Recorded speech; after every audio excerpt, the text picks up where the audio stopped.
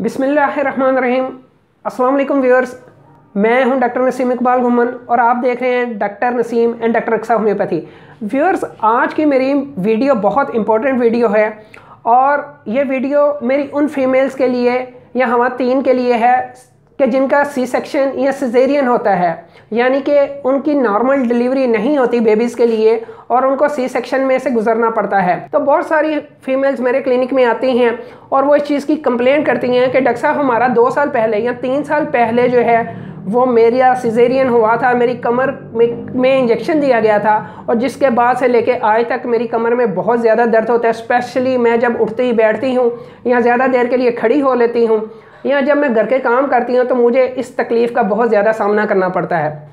Viewers ये condition अगर इस कंडीशन को, इस पेन को अगर शुरू में ट्रीट ना किया जाए तो ये लाइफ लॉन्ग भी चल सकती है। इवन कई साल गुजरने के बावजूद फीमेल्स की कमर के अंदर दर्द होता है रहता है। तो व्यूअर्स होम्योपैथी के अंदर बहुत अच्छी मेडिसन है। और मैंने इन मेडिसन्स को, कई फीमेल्स को देखे, देखा है और मैंने इनको बहुत इफ़ेक्टिव पाया है। और स्पेशली जिनका अगर नया नया ही सिजेरियन हुआ हो, यानी जिनका बड़े ऑपरेशन के साथ बेबीज़ जो हैं, वो डिलीवर हुए हों तो उनके लिए मैंने इन मेडिसिन को बहुत अच्छा पाया है। ये पेन किलर्स नहीं है व्यूअर्स इससे क्या होता है कि जो वहाँ पे जो नर्व्स जो हैं, जो नर्व्स डैमेज हुई होती हैं स्पाइन के अंदर या बैक की जो नर्व पंक्चर हो जाती हैं उनकी हीलिंग बहुत जल्दी हो जाती है। वो बहुत तेज़ी से हील हो जाती हैं। और दोबारा उन दोबारा जो है वो मेडिसिन की ज़रूरत नहीं पड़ती है। तो व्यूर्स अब मैं बताता हूँ उन होम्योपैथिक मेडिसिन के बारे में कि जो इस न्यूरो पेन के लिए या ऐसी पेन जो कि इंजेक्शन लगने के बाद जो है वो कमर में फीमेल्स की चलती रहती है उनके बारे में है। सो so, व्यूअर्स पहली जो मेडिसन है, वो है hypericum one M viewers hypericum nerves की बहुत अच्छी मेडिसन है और अगर कहीं नर्व इंजरी हो जाए या नर्व्स की प्रॉब्लम आ जाए, जहाँ पे असाब पंक्चर हो जाए तो उनके लिए ये बहुत एक्सीलेंट काम करती है।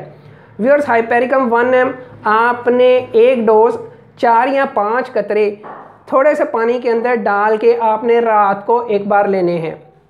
दूसरी जो मेडिसन है, वो है आर्निका 200 और आर्निका 200 के भी चार से पाँच कतरे आपने थोड़े से पानी दो या दो तीन घूंट पानी के अंदर आपने दिन में एक दफ़ा इस्तेमाल करने हैं।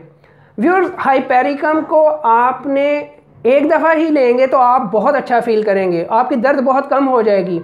और अगर आपने इसको रिपीट करना है तो चार या पाँच दिन के बाद आप इसको रिपीट कर सकती हैं। यानी कि चार या पाँच दिन के बाद आप इसकी दूसरी डोज या तीसरी डोज ले सकती हैं।